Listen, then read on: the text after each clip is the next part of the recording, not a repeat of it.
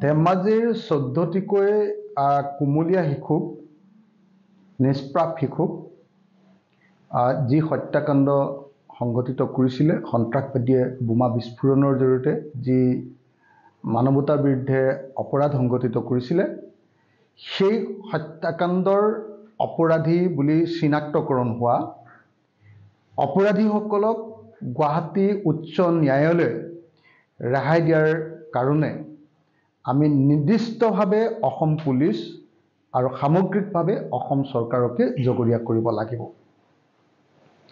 হিমন্ত বিশ্ব শৰ্মা চৰকাৰৰ দিনত অদ্ভুত কাণ্ড কিছুমান ঘটা আমি দেখিবলৈ পাইছোঁ।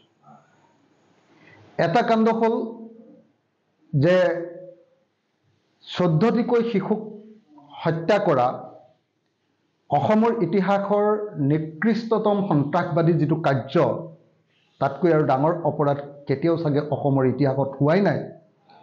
সেই নিকৃষ্ট অপৰাধমূলক কাণ্ডৰ অপৰাধীবিলাকক আজি ৰেহাই দিবলৈ কোৰ্টে ৰেহাই দিয়াৰ ব্যৱস্থা কৰিলে কেৱল আৰু কেৱল অসম পুলিচৰ ব্যৰ্থতাৰ কাৰণে। ইমান দক্ষ বুলি কৈ থাকে অসম পুলিচক। হিমন্ত বিশ্ব শৰ্মাই বোলে একেবাৰে লৌহ কঠিন হাতেৰে বোলে অসম পুলিচক নিয়ন্ত্ৰণ কৰে। জি পি সিং বোলে অসম পুলিচৰ সাংঘাতিক ধৰণৰ ডাঙৰ ডি জি পি বোলে। কিন্তু তাৰ পাছতো আমি দেখিবলৈ পাইছোঁ যে এটাৰ পাছত আনটো কেছত অপৰাধীবিলাকে ৰেহাই লাভ কৰিছে। আজি পুলিচে যদি সঠিক চাৰ্জশ্বীট দিলেহেঁতেন সঠিকভাৱে যদি এভিডেঞ্চ সংগ্ৰহ কৰিলেহেঁতেন সঠিকভাৱে যদি কোৰ্টত কাগজ পাতি জমা দিব পাৰিলেহেঁতেন তেতিয়াহ'লে নিশ্চিতভাৱে এই অপৰাধীবিলাকে কেতিয়াও কোনো পধ্যে ৰেহাই লাভ নকৰিলেহেঁতেন কিন্তু দুৰ্ভাগ্যজনকভাৱে অসম পুলিচৰ এই যি ব্যৰ্থতা সেই ব্যৰ্থতাৰ কাৰণে অসমৰ ইতিহাসৰ আটাইতকৈ জঘন্যতম হত্যাকাণ্ডৰ ঘটনাটোৰ পৰাও অপৰাধীয়ে ৰেহাই লাভ কৰিলে। সেইকাৰণে অসম পুলিচৰ এই যিটো অৱহেলা অসম পুলিচৰ এই যিটো ব্যৰ্থতা অসম পুলিচৰ এই যিটো অকমন্যতা এইটো ক্ৰাইম এগেইনষ্ট হিউমেনিটি বুলি ক'ব পাৰে। মানৱতাৰ বিৰুদ্ধে অপৰাধ বুলি ক'ব পাৰি। এইটো অপৰাধটো অসম পুলিচে সংঘটিত কৰিছে। ইয়াৰ ভাগিদাৰ অসম পুলিচ আৰু ডিজিপি ডিজিপি ডাঙৰীয়া। যিজন ডিজিপিক আটাইতকৈ শক্তিশালী ডিজিপি বুলি ক'বলৈ খোজা হয়। দ্বিতীয় কথাটো হ'ল যে অসম পুলিচ নিয়ন্ত্ৰণ কৰে গৃহ বিভাগে।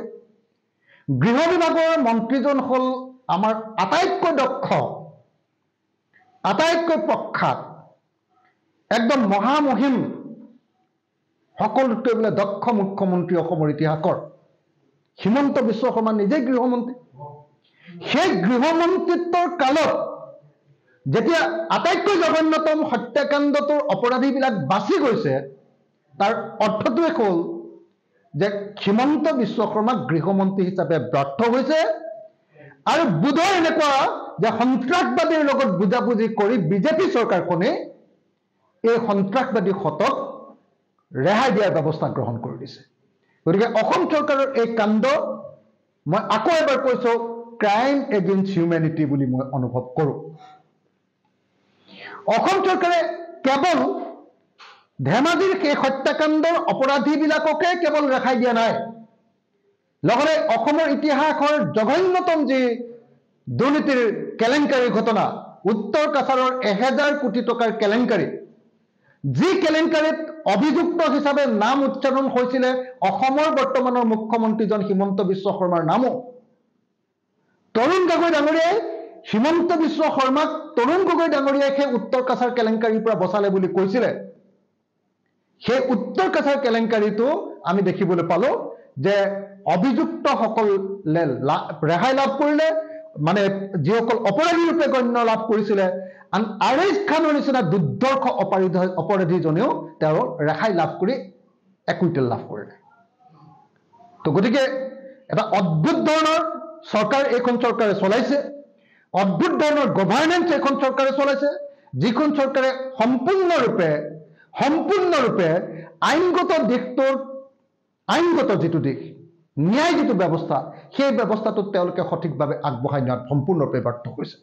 মই সেইকাৰণে দাবী উত্থাপন কৰোঁ যে অনতি বিলম্বে এই দুয়োটা গোচৰৰ ক্ষেত্ৰত ধেমাজিৰ হত্যাকাণ্ডৰ ঘটনা শিশুৰ হত্যাকাণ্ডৰ ঘটনা আৰু উত্তৰ কাছাৰৰ এহেজাৰ কোটি টকাৰ কেলেংকাৰীৰ ঘটনা এই দুইটা হত্যাকাণ্ডৰ ক্ষেত্ৰত উচ্চতম ন্যায়ালয়ৰ ওচৰলৈ গৈ অসম চৰকাৰে অপৰাধীসকলক কঠোৰতম শাস্তিৰ ব্যৱস্থা গ্ৰহণ কৰাৰ ব্যৱস্থা যদি নকৰে, তেতিয়াহ'লে জানিবলৈ, বুজিবলৈ বাকী নাথাকিব যে চৰকাৰ নিজেই এই গোটেই কাণ্ডৰ লগত জড়িত। তৃতীয় কথাটো হ'ল, গুৱাহাটী উচ্চ ন্যায়ালয় সম্পৰ্কীয় আমাৰ এটা কথা ক'বলগীয়া আছে। গুৱাহাটী উচ্চ ন্যায়ালয়ত এনকাউণ্টাৰ বা এক্সট্ৰা জুডিচিয়েল কিলিঙৰ বিৰুদ্ধে এখন অত্যন্ত গুৰুত্বপূৰ্ণ পেটিশ্যন আছিলে। সেই পেটিশ্যনখন এজন নিৰ্দিষ্ট ন্যায়াধীশে নাকচ কৰি দিলে। পেটিশ্যনখন উঠাই দিলে। পেটিশ্যনখন গ্ৰহণ নকৰিলে, কেছটো নাইকিয়া কৰি দিলে। এইটো দুৰ্ভাগ্যজনক ঘটনা। মই ভাবো যে সেই নিৰ্দিষ্ট ন্যায়াধীশজনে অত্যন্ত বেয়া বিচাৰৰ ৰায় এটা দিছে। এজন নাগৰিক হিচাপে মই নিশ্চয় সেই গোচৰৰ ৰায়ক সমালোচনা কৰিব পাৰোঁ। গুৱাহাটী উচ্চ ন্যায়ালয়ে যদি এক্সট্ৰা জুডিচিয়েল কিলিঙৰ এখন আবেদনক এনেকৈ নাকচ কৰি দিয়ে, তেতিয়াহ'লে নিশ্চিতভাৱে ন্যায় ব্যৱস্থাৰ প্ৰতি মানুহৰ যি আস্থা সেই আস্থা নাথাকিব। গতিকে মই আশা কৰোঁ, ন্যায়ালয়ে সঠিকভাৱে অপৰাধীসকলক শাস্তিমূলক ব্যৱস্থা গ্ৰহণ কৰিবৰ কাৰণে ব্যৱস্থা ল'ব। আশা কৰোঁ, ন্যায়ালয়ে জনতাক প্ৰকৃত ন্যায় প্ৰদান কৰিব।